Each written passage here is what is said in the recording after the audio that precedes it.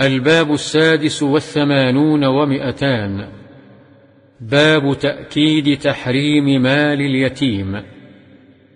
وعن أبي هريرة رضي الله عنه عن النبي صلى الله عليه وسلم قال اجتنبوا السبع الموبقات.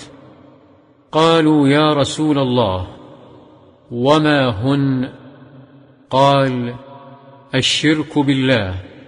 والسحر وقتل النفس التي حرم الله إلا بالحق وأكل الربا وأكل مال اليتيم والتولي يوم الزحف وقذف المحصنات المؤمنات الغافلات متفق عليه.